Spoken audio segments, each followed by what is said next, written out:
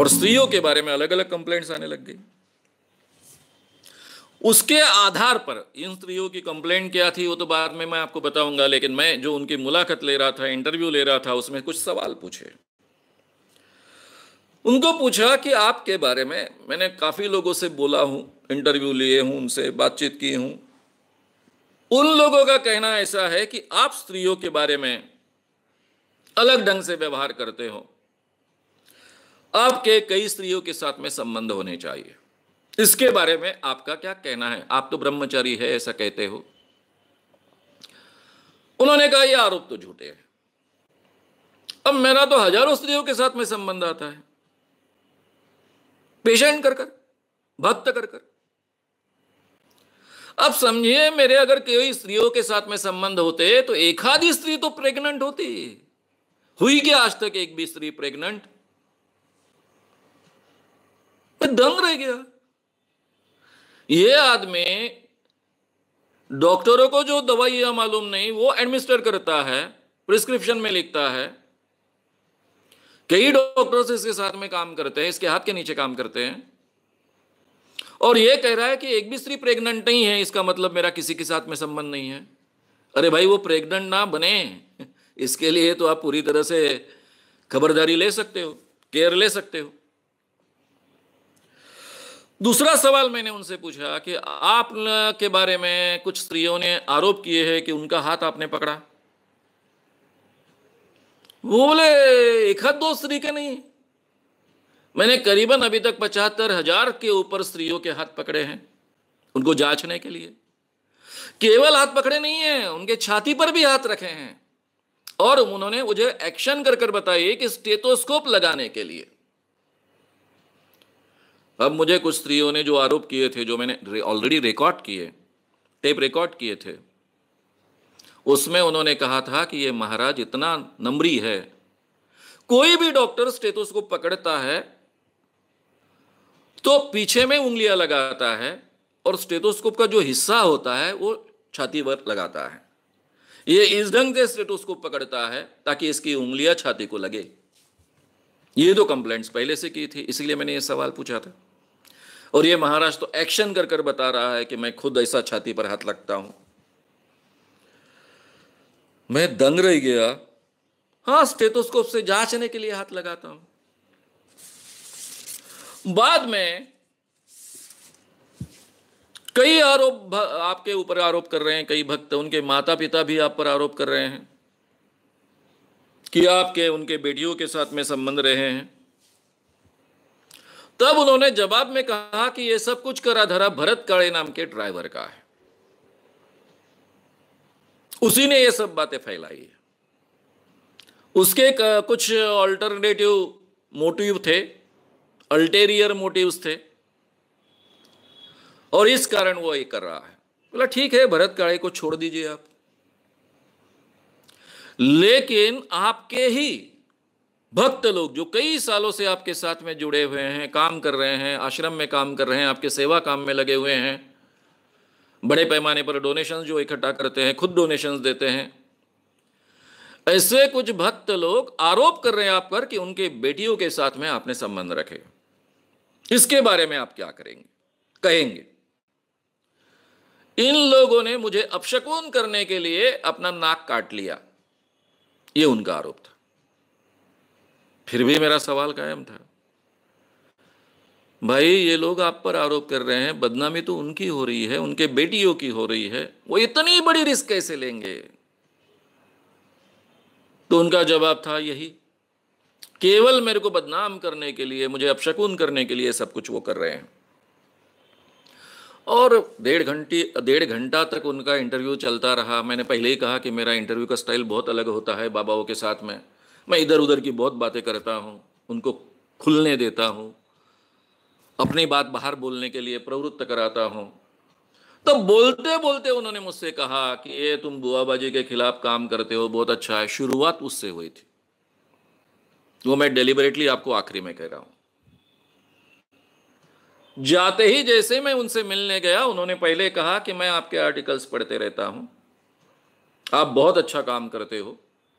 अंधविश्वास के खिलाफ काम करना ये बहुत बड़ा योगदान है आपके, आपका देश के लिए और मैं आपके काम के साथ में। मैं सुनता हूँ आपके बारे में, देखता हूँ, कई लोगों से जानता हूँ कि आप गाँव गाँव घूमते हो, एसटी से जाते हो, महाराष्ट्र स्टेट ट्रांसपोर्ट की बस से जाते हो। बहुत दिक्कतें आती है। तो मैं चाहता हूँ कि मेरा भी आपके काम में कुछ योगदान हो। मेरे पास एक इंपोर्टेड कार है। मैं ये कार आपकी सेवा में देना चाहता हूँ। ड्राइवर का खर्चा आश्रम करेगा, कार के पेट्रोल का खर्चा आश्रम करेगा। आप इस कार का उपयोग कीजिए और अपना काम बहुत अच्छे ढंग से कीजिए। ये डायरेक्टली ऑफ़र थी। अब वो मुझे तो ब्राइब का तो ऑफ़र नहीं कर सकते थे कि इतने लाख रुपए तुमको दूँगा, वगैरह वगैरह। इम्पॉसिबल था, मेरी प्रतिमा ही वैसी थी कि कोई ऐसी हिम्मत ही ना करे। लेकिन ये अलग ढंग की ब्राइब थी। अगर मैं इस बाबा को एक्सपोज करने नहीं आता, शायद विवेकानंद जी का ही काम ये व्यक्ति करता है, ऐसी मेरी धारणा थी और वो कायम रहती। और ये ऑफ़र उन्होंने दी होती तो मेरा काम बढ़ाने के लिए शायद मैं ये ऑफ़र स्वीकारता भी। क्योंकि खर्चा वही करने वाले हैं उन्हीं का ड्राइवर रहने वाला है, पेट्रोल, डीजल वही डालने वाले हैं। केवल मेरा काम बढ़ेगा, इसलिए शायद स्वीकारता भी। लेकिन जब मैं इस बाबा को एक्सपोज करने आया हूँ, ये उसको मालूम है। मेरा काम ही बाबाओं को एक्सपोज करना है। उसके साथ में ये ऑफ़र देता है तो इसका मतलब क्या होता है? कहने की ज़रूरत नहीं कि मैंने सीधा शुरुआत में ही इसको नकार दिया। बाद में मेरे आर्टिकल में भी ये बात मैंने लिखी, शुरुआत ही उससे की। तो बोलते बोलते बुआ बाजी इस विषय पर वो बोले, उन्होंने एक बहुत सुंदर व्याख्या मुझे प्रोवाइड की। उन्होंने कहा कि जो बुआ बुआ जेव्हा बाजीवर जातो, त्याला बुआबाजी असं म्हणतात। अब ये मराठी में उन्होंने कहा है, बाज ये शब्द, खास वराड़ी शब्द है। बाज यानी कॉट। बुआ यानी बाबा। जो बाबा कॉट पर ले जाता है, वो बुआबाजी है। यानी सही माने में स्त्रियों का शोषण करता है, वो सही माने में बुआबाजी है, ऐसा उन्होंने कहा था। ये व्याख्या उन्होंने ही सप्लाई की हुई व्याख्या है। डेफिनेशन है। अब ये सब की सब चीज़ें जो हैं, कैसी बाहर आई? अब मेरा कुछ इन्वेस्टिगेशन रहा है।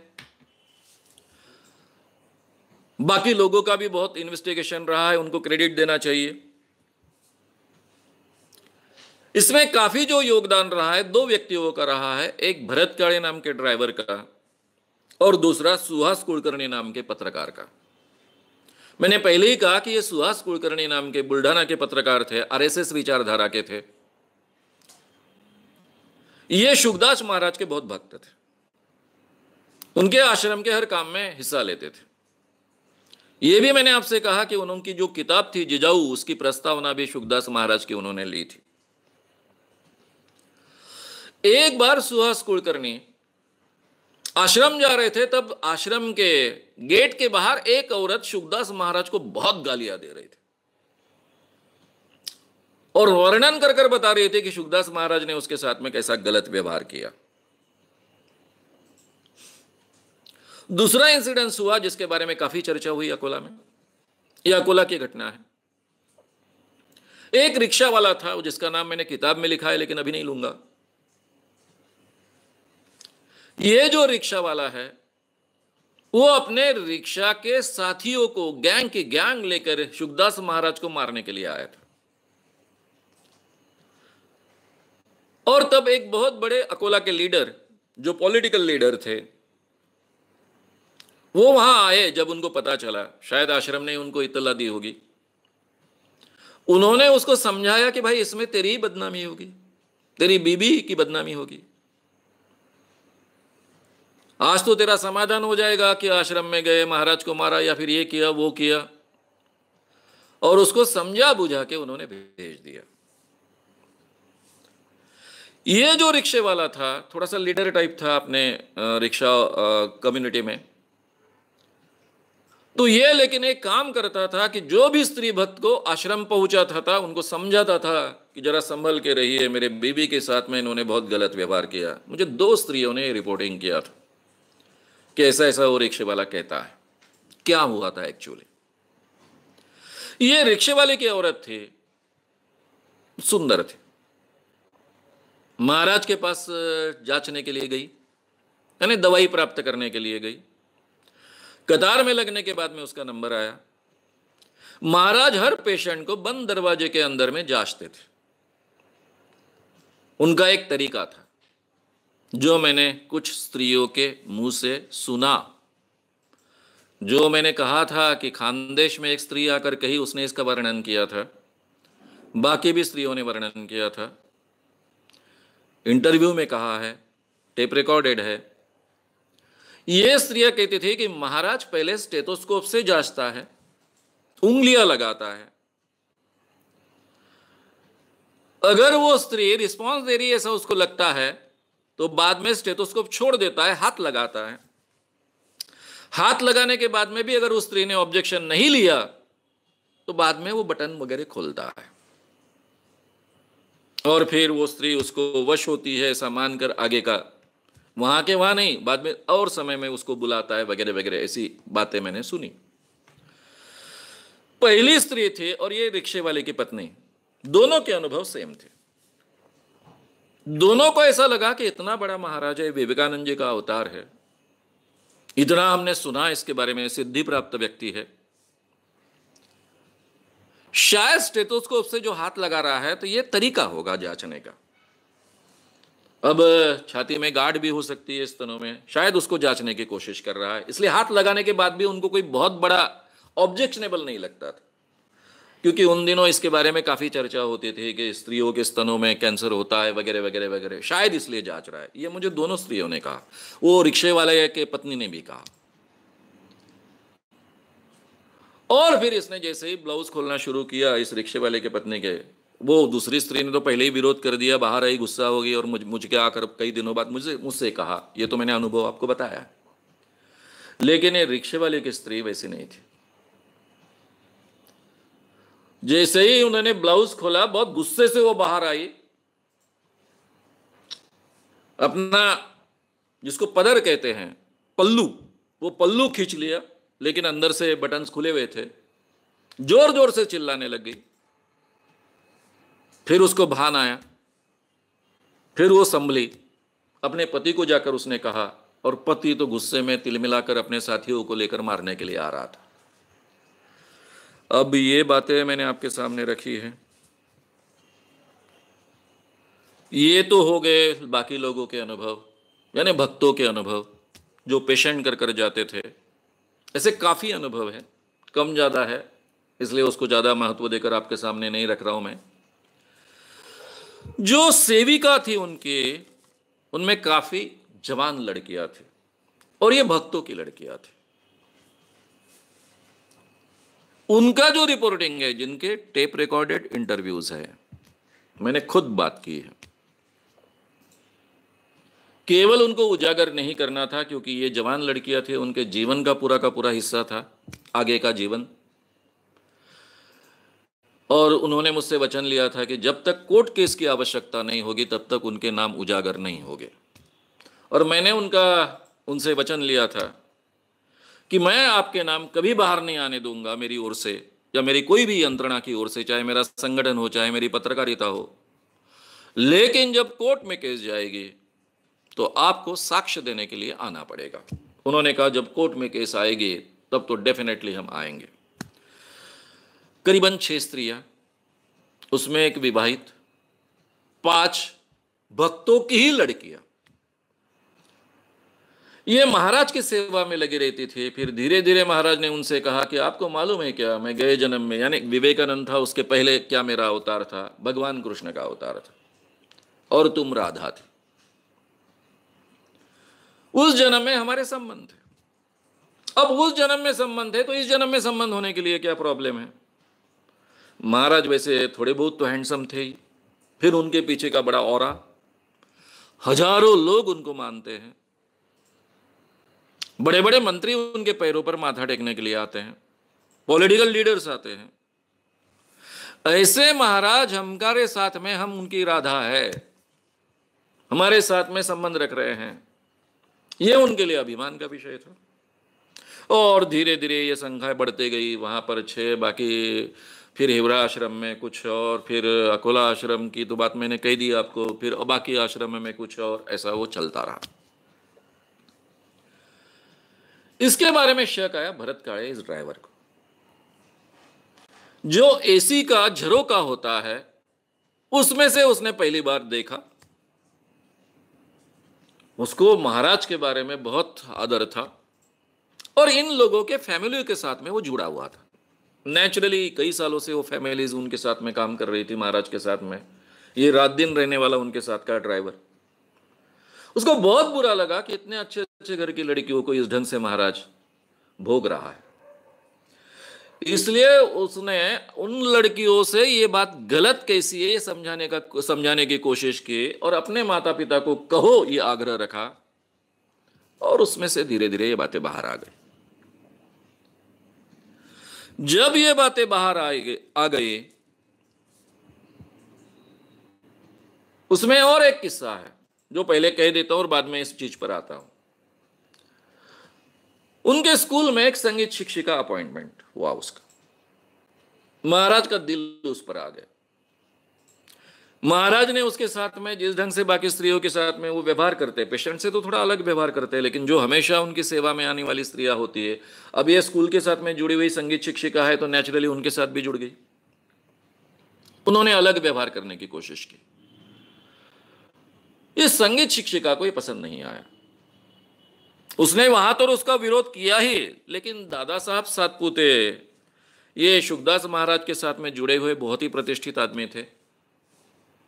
उनसे जाकर वो कहने लगे कि क्या आदमी है ये?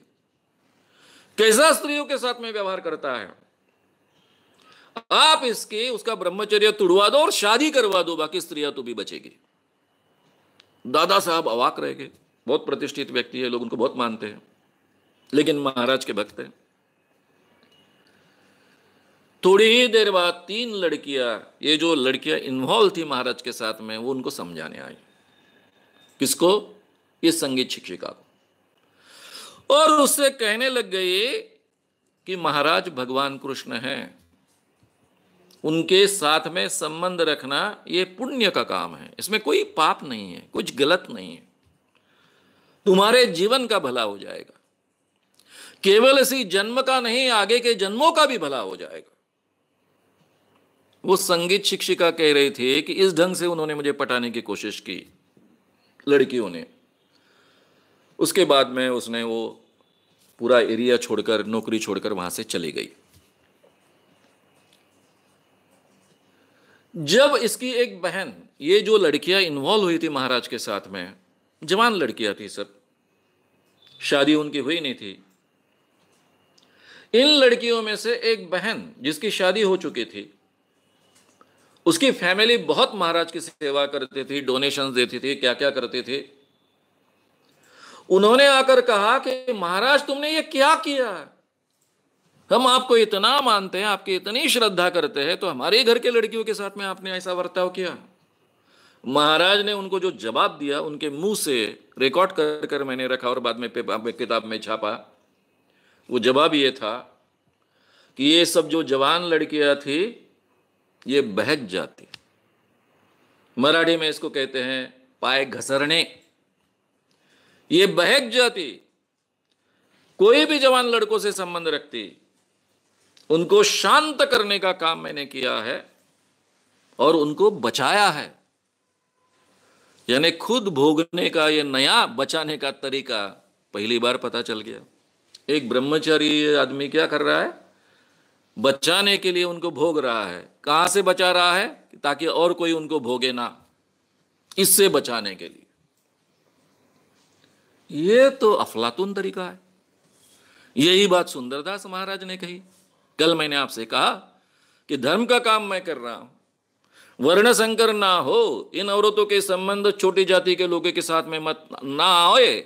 इसलिए मैं इनको भोगता हूँ और बाद में उनको शपथ दिलाता हूँ कि और किसी के साथ में नहीं, पति और मेरे ही साथ में। सेम किस्सा शुभदास महाराज का। लेकिन मेरी दिक्कत थी, अपने आप को विवेकानंद कहते हैं। विवेकानंद का मैं फ़ैन। आज भी विवेकानंद जी का नाम लेकर बार बार बोलता हूँ। उन दिनों में तो बहुत ही ज़्यादा फ़ैन था। तो ये शुभदास महाराज के सब हथकंडे अगर आपको ये वीडियो पसंद आया हो तो उसे ज़रूर लाइक करें। लोगों में ये अवेयरनेस फैलाने में हमारी मदद करें। वीडियो को ज़रूर शेयर भी करें। तो हमारे यूट्यूब चैनल शाम मानो को विज़िट करें। ऐसे सारे वीडियोस का आनंद लेने के लिए हमारे चैनल को सब्सक्राइब करें। उसके लिए सब्सक्राइब बटन दबाएँ। नए वीडियोज़ का नोटिफिकेशन पाने के लिए बेल आइकन दबाएँ।